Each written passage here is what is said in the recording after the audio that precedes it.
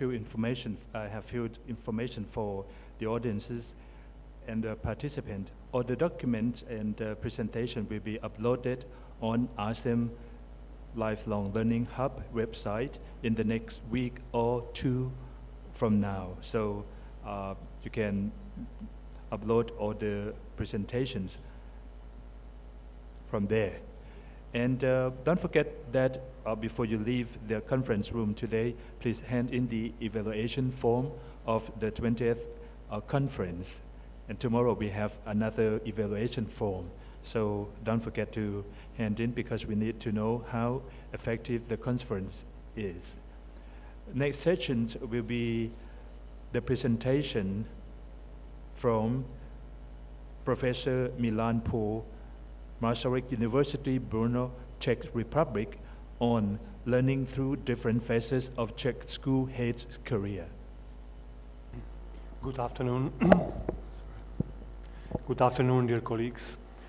I also would like to say first that uh, it's a great privilege for me to take part at this conference and also to have a chance to present a piece of research uh, in which I was inv involved together with my colleagues.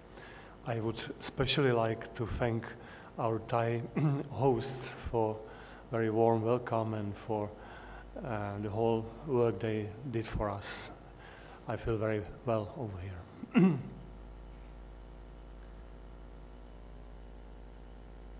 I'm going to talk, uh, as it was already announced, about uh, learning through different stages of uh, professional careers of Czech school head teachers. this is the piece of research that uh, we were busy with uh, colleagues of mine last two years and I will say more about the research itself uh, a little bit later. First of all, let me say that uh, I'm going to focus uh, on learning as a part of professional career, but uh, also in link with what could be called life path. I'm also I'm going to focus on learning of head teachers and on professional careers and in some extent on life paths of uh, those head teachers. I'm going to focus on basic school head teachers in the Czech Republic. That means those who are running or leading the schools for the kids uh, 6 to 15 years of age. And um, I'm going also to focus on uh, specific forms of learning those people have undergone through different stages of their professional careers.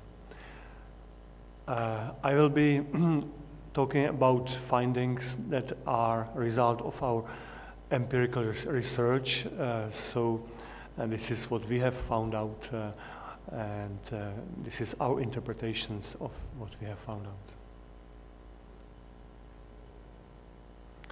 I want to say that um, the learning as a part of professional and in some way also uh, life, career and path, uh, I would like to stress uh, mainly um, with regards to unity of uh, life and work stories that we were uh, listening to and we were analyzing, uh, with emphasis on learning processes in for and through uh, the workplace, the school in our case, and uh, with a stress on perception of interlinks among uh, what's normally called uh, formal, uh, non-formal and informal learning. In a number of ways, I assume I can link it to uh, a number of things colleagues who talked before me emphasized. Let me say a few words about uh, our research. uh, the title of the research uh, is uh, Head Teachers of Czech Schools and Their Life and Professional Careers. And uh, it was and it is still conducted by the team which I'm leading, the team of four colleagues. Uh, one of them you might know, Petr Novotný, is also member of uh, network number two uh, workplace learning. Oh, it's better, yeah? No. Thank you.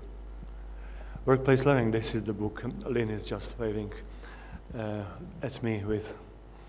The research was supported by the main uh, sponsoring, research sponsoring body in the Czech Republic, Czech Science Foundation. And we wanted uh, by that research to contribute um, to the knowledge of theory and practice of head teachers' work in the context of development of their life and professional careers. Maybe uh, at this point, uh, uh, it would be good to say a few words why we have uh, chosen the head teachers. Uh, yet before that, let me a little bit introduce in brief uh, our research focus for the last 15 or so years. It is a part of the explanation. together with my team, we are interested mainly on public uh, organizations and mainly on educational, uh, educational uh, entities. Uh, most of the time we are focusing on schools and we are trying to look at them at the same time as uh, institutions. Uh, that means as entities that are obliged to sort of meet the sort of framework, legal framework, economic, political, culture, religious, etc., etc., etc. At the same time, we are looking at the schools as um, specific organizations. It means as entities that have a chance to fulfill that framework in a very specific ways, and uh, as organizations that, in number of very key factors, differ from, uh, let's say, uh, usual type of organizations. And at the same time, we are trying to look at the schools as, as communities. That means uh, places for people's meetings, places for uh, caring, places of respect, support, trust, etc., etc. Those, through, uh, those three levels, uh, those three dancing on, uh, those three uh, needs or, or the musts, obligations to dance on the same, on, on, on the three weddings at the same time. We are trying to look at uh, and we are trying to look how schools are dealing with it on the level of leadership, management, and governance. Uh, coming out of that, uh, we have been focused on school governance systems. We have been researching uh, school family relations. We have been researching collegial and supportive and or non-supportive relations of people, professionals within the schools. We have been focused on styles of leadership, we have been researching uh, school culture. We have been uh, researching the issue of um, democracy at schools. And also uh, lately, and this is this piece, piece of research, we have been focused on the way how is the professional and also life um, course of those who, who have uh, main deal of responsibility on their shoulders, how it is going on in what waves, uh, under what circumstances, in what interlinks, etc. Maybe a uh, few words about why we have picked up the school heads. Uh, this could be justified uh, mainly with the main shift which happened uh, uh, as for the schools in our society within the last almost 20 years. While at the very end of 80s, early, still early 90s, schools were perceived as entities that are supposed to uh, execute the ready-made stuff, the stuff that has been developed uh, outside. And the school leaders, in particular head teachers, were supposed to be the ones who should make care, uh, should uh, make sure this is happening, um, nowadays, within actually very few years, we have moved to the situation in which schools are being viewed as uh, relatively autonomous institutions. Uh, they are expected to develop from within. Uh, they are expected to be anchored in various uh, uh, various relations on the local, but not only on the on the local level. And the school leaders, mainly school head, is supposed to be the main driving force for all of that. Yeah? In other words, the uh, situation in Czech education, school education, and the situation, expectations, and uh, duties and responsibility of the school heads have changed dramatically. And uh, we can say that uh, uh, in, with a certain amount of simplification, school heads are uh, sort of perceived to be, so as I said already, main key or key actor within the whole transformation process. This is, uh, uh, of course, a new situation which is bringing very much uh, new elements, we believe, into a professional careers and development, and which may also have something to do in a new social and political uh, climate, uh, perhaps also with some elements of their life, life path and interrelations between those two. So uh, uh, here you can see some uh, uh some legal preconditions uh, who can become a teacher. Uh, just one thing that comes out of it, it must be the educator, the the person who passes teacher training. It cannot be the person from other sector without prior education training. So we are always talking about people who have chosen the education career. Let me say a few words about research methodology we have used. Uh, uh, we have chosen qualitative, uh, qualitative design, qualitative approach, and biographical and narrative design uh, that is often being called life history. And we have been combined uh, several uh, data collection methods. main of them was, were biographical interviews with the head teachers we had nine head teachers with whom we went uh, uh, through in-depth interviews, repeated interviews, trying to get most of it. We also uh, used uh, the method called focus group with another set of basic school head teachers. We um, also uh, conducted interviews with those who uh, in a long run collaborated or collaborate with our respondents, the uh, deputies, teachers uh, uh, within the school, etc., so that they could sort of complement the data we have been getting from our main respondents. And we have also used some participative observations and some document analysis. Um, we have chosen our small sample, but uh, in qualitative uh, research, it is often uh, the sample is not dramatically big. We have chosen with the uh, intention to get certain balance. Uh, so we have um, had more or less uh, equal proportion of men and women, more or less equal proportion of uh, those uh, who have already long-lasting working experience or working experience at least in the job, I mean in the head teacher's job, at least seven years. We have been trying to pick uh, people from uh, schools that are considered in Czech um, context uh, small schools, not small size schools, but uh, sort of completed schools, but still of a small scale, about 200 uh, pupils.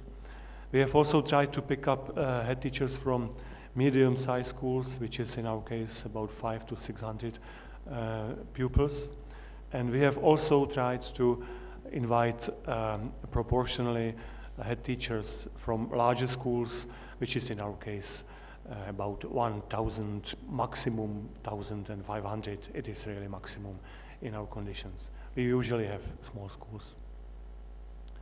And we have also tried to pick up uh, people from schools that have uh, varying reputation.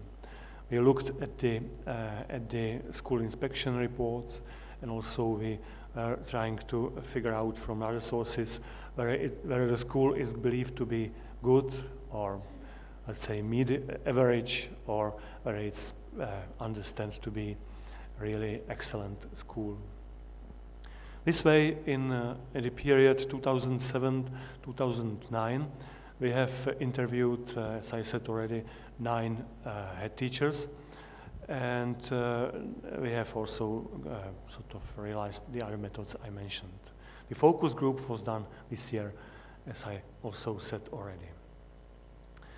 Now, um, let me say a few words about main stages as they came out of uh, our uh, data analysis. I should say, uh, first of all, that we are well aware of number of research done in the UK, also in uh, other English-speaking uh, countries mainly, but also in Germany and, and, and Switzerland and uh, some other contexts, Denmark, that were focused on a similar topic. This topic is new in Czech environment. Uh, we are also aware of classifications that uh, different researchers Uh, sort of created on the basis of their data. Uh, and uh, I have to say, we recognize them, respect them, yet we didn't stick to any of them, trying to develop our or on our own classification that seemed to be most appropriate according to our data. On the base, uh, or this way, we have, uh, well, there are similarities, of course. This way, we have arrived to three, or maybe uh, one plus three uh, uh, sort of broad stages, which can be, the three of them at least, um, uh, differentiated or structured internally further in more detailed way. At this moment here, I will not do it. I will just say a few words about characteristics of uh, all of these uh, stages and about uh, learning aspects that we have identified in there and perhaps about some other uh, related issues. So the uh, uh, stage zero, as we could also call it, that means the stage before, before uh, entering the uh, job of head teacher is the stage that we have found uh, has enormous importance since this is the pathway towards the head teacher's function.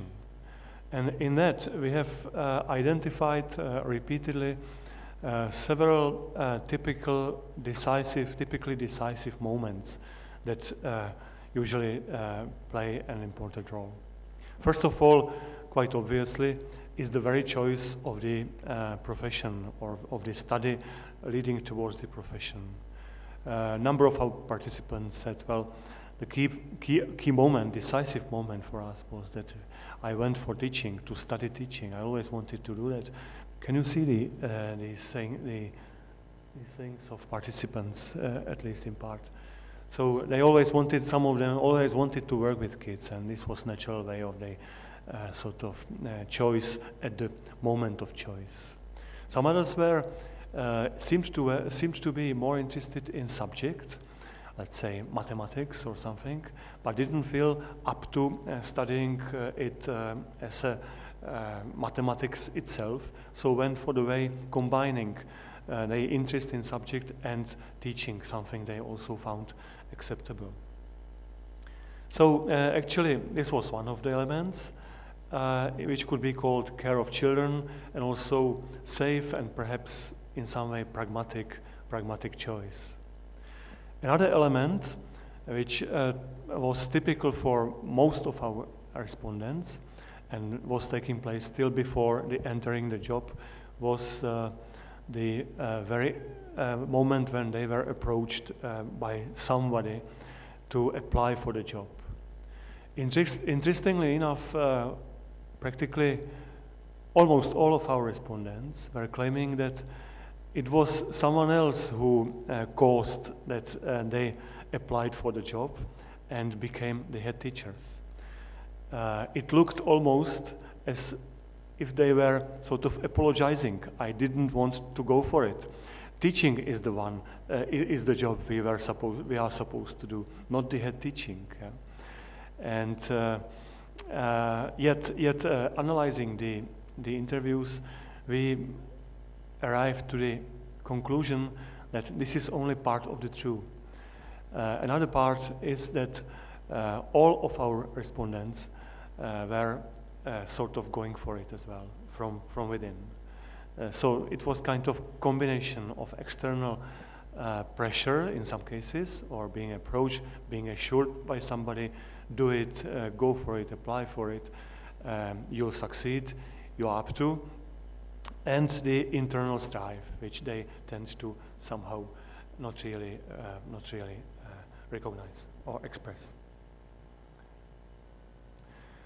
In that stage, uh, we could say, uh, we could say subjectively, uh, part, our respondents are claiming they didn't know much about it. They, they practically didn't do anything about head teaching, head teaching work. They often were stating that their imagination, their idea was very naive, sort of coming out of teacher's perspective, not really based on the, the view from within, or even uh, some kind of formal preparation for the job.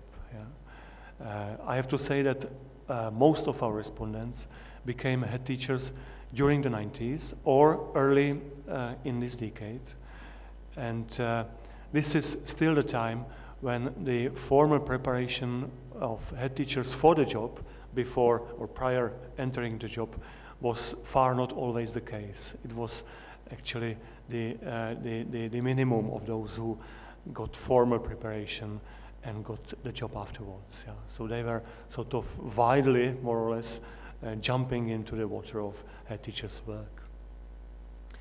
Um, at the same time, and they showed in the expressions that uh, once they accepted the challenge, they were positively uh, opened to, uh, to the need to learn new things. To, uh, they recognize they will have to, new, uh, uh, to learn new things, and they, they, they, they wanted to go for it.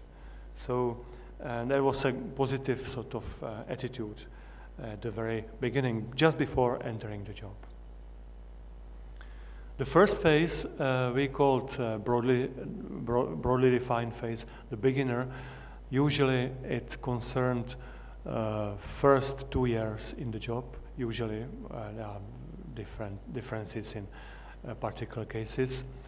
Um, so um, this is the phase uh, that could, in which could be found some outer stimuli or perhaps barriers, depends, for learning. One of them was, as I said already, uh, lack of formal preparation for vast majority of our teachers. Another moment, uh, which uh, I should say, was the uh, was the fact of uh, phenomenon of being a false beginner. At, at, at, one at one side, they all were they all they all were perceiving themselves as the very beginners in the job, but uh, very often they were claiming at the same time that uh, the job required from the day number one to do it in full, uh, not sort of beginner's regime, not, so, not, so, not sort of uh, somebody uh, sort of looking after you and helping you to, to induct, but um, so simply working 100% from the day number one. Yeah. So the beginnership was kind of illusion in a way for some of them. Many of them also mentioned the uh, moment or the element of existing culture in which they were stepping in. Uh, frankly speaking, or interestingly enough, uh, in times when leadership succession is the big issue in number of uh, uh number of uh, uh, sectors, I would say, and also in research. in our case, it was a really minimum of respondents who were positive about the uh, former heads, uh, about those who were in the job before. Very often the uh, expressions like uh, ground zero or building out of the scratch uh, were, were used by those who entered newly the job and inherited uh, something they had to face and deal with. I'm not sure if it's really supportive for the idea of leadership, leadership succession, uh, but it's a very complex question, of course. The very important element in this beginning phase seems to be uh, the fact that uh, practically all of our new heads, in those time new heads, beginners, had very good teacher's reputation, uh, reputation XT, as uh, in times they were teachers. Yeah. So in that period, it seemed, they often built their authority on the teacher's authority, yeah? on the pedagogical master, uh, mastering on, on the fact that they could say to teachers, well, you know, I am, I am able to do that uh, as you, or as I'm requesting uh, from you. Yeah? And this was the main source of respect, uh, it seemed, uh, from the others towards the beginners at the very beginning stage of the, of the, of the, of the headship.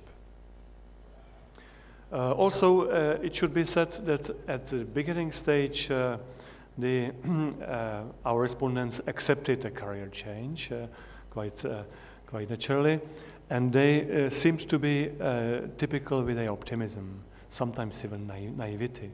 Maybe the, the, the, the, sentence or two, three, three sentences from Head Teacher 6 explained very, very clearly. Uh, when I went for it, uh, uh, quotation, I mean, being head, you know, I had a kind of idea everyone has who can see head teaching from the outside, you know. My idea was there will be law and order in the school and the kids will immediately have excellent knowledge. Very nice, but a little naive idea, as the head teacher admitted later quite clearly as well. Um, Still, as for the beginner's attitude to learning, uh, we have identified that uh, they were trying to use uh, both formal and non-formal opportunities. Uh, there were some elements of it, as I uh, indicated earlier. Maybe stronger than that, uh, and they were trying to get together with the heads who also in those periods got into the job new, jobs newly uh, this period was very typical. The whole 90s and early uh, years of this decade were very typical with a sort of bottom-up building up head teachers networks in which people were trying to uh, learn from the other, to help each other, to share experience, to support each other. Also, quite often uh, there was uh, uh, an evident tendency of head teachers to take over existing solutions, simply to uh, make use of the uh, model head teacher whom they met somewhere and got impressed.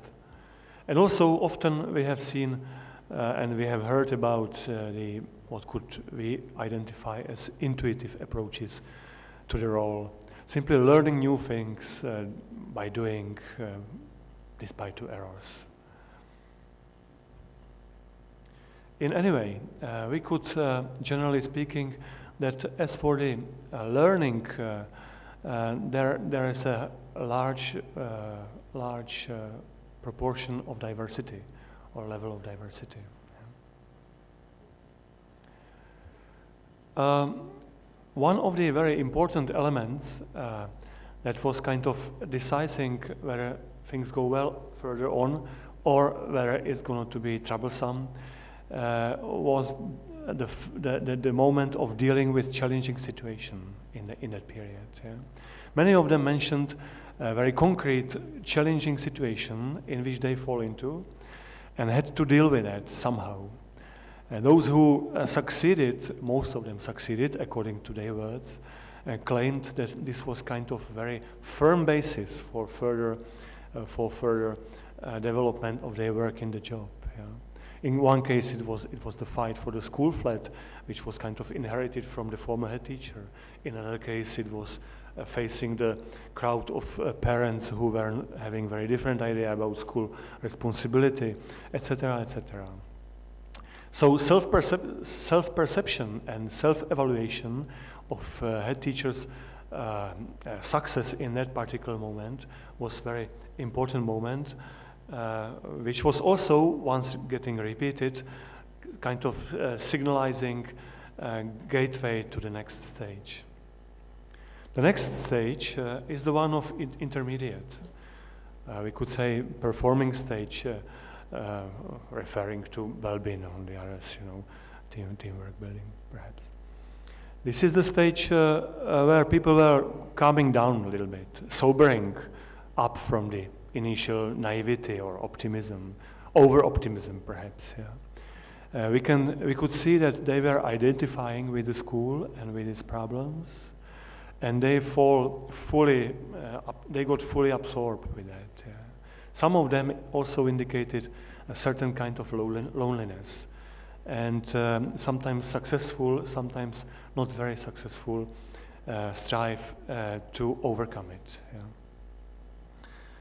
Uh, again, in this intermediate, intermediate um, uh, stage, we could identify um, some uh, sources of uh, uh, knowledge, let's say. Main sources seem to be the main practice. They indicated uh, quite a disappointment from of existing former programs of head teachers training, be it state or private. They often were focusing very much on the, within the school, trying to learn from their own actions, from actions together with the other people. And also, they were very much uh, turning towards the teachers networks, trying to get utmost from those networks.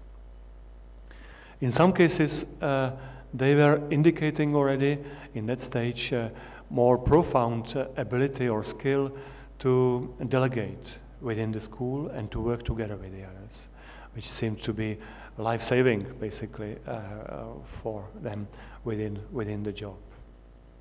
They claimed that this was the process to arrive to it. Most of them uh, first wanted simply to keep the responsibility and the activity on their own shoulders, which is, of course, killing. Again, uh, as in the uh, first, this beginner's stage, uh, we could have seen uh, the high importance of success again. Yeah? Um, but not the personal success. They didn't need to succeed in uh, challenging situations as head teachers anymore that much, but they needed the success of their own school, for which they were the leaders. Very great shift towards the school, school as a whole. Yeah. And again, a repeated uh, experience of this kind of success